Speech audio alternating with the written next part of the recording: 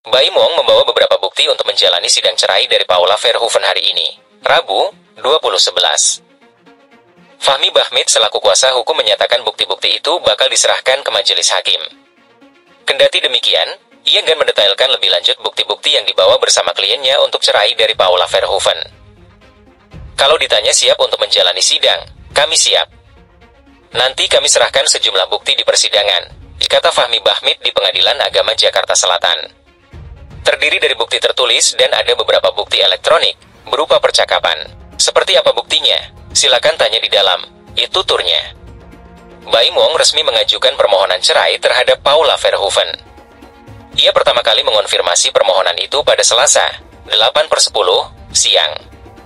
Sidang cerai Baim Wong dan Paula Verhoeven sempat dilanjutkan secara ecor dan lanjut untuk beberapa agenda ke depan, seperti jawaban dari termohon, replik, dan duplik.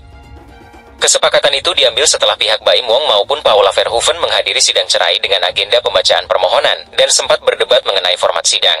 Permohonan cerai Baim terhadap Paula hadir setelah keduanya menikah hampir enam tahun dan beberapa bulan setelah pernikahan mereka diterpa kabar miring.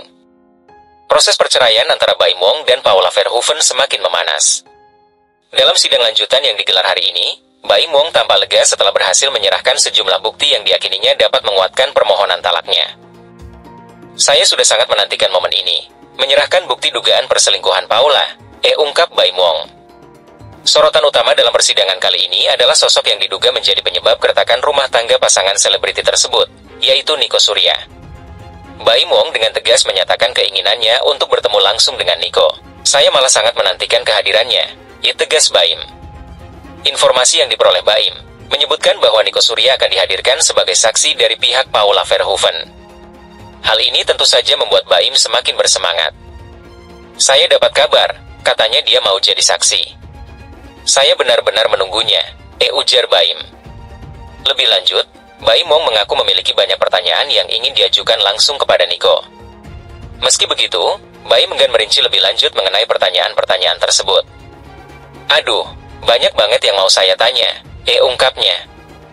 Yang pasti, saya ingin semua kebenaran terungkap, i sambungnya. Kemudian, Baim Wong berharap Niko Surya dapat hadir di persidangan dan memberikan keterangan yang jujur. Ia mengajak masyarakat untuk turut mendoakan agar hal tersebut dapat terwujud. Doakan saja dia datang, e ucap Baim. Sidang pembuktian yang digelar hari ini berlangsung cukup alot dan sempat terjadi perdebatan sengit antara kedua belah pihak. Suara-suara bernada tinggi terdengar keluar dari ruang sidang.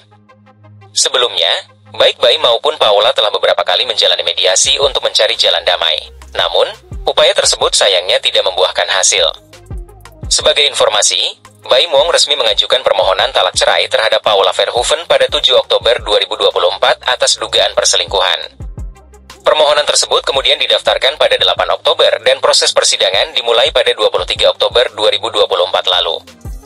Seperti yang diketahui, nama Niko Surya mendadak menjadi sorotan publik setelah mencuatnya isu perceraian antara Baim Wong dan Paula Verhoeven. Kedekatan Paula dengan Niko yang diungkap oleh teman dekat Baim, Wisnu, membuat publik penasaran dengan sosok pria yang disebut-sebut menjadi penyebab retaknya rumah tangga pasangan selebriti ini.